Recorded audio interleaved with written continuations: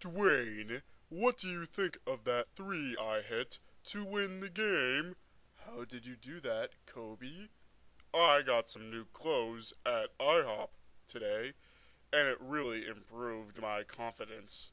Isn't that a restaurant? That's what they want you to believe. Why do they mislead me so? Because if you had bought those clothes, then maybe you would be able to start hitting threes. Kobe, why are you being so mean? If you never give credit where credit is due, then you never get credit. You get debit. And why do you deserve credit? Oh, snap. Dwyane, you got owned.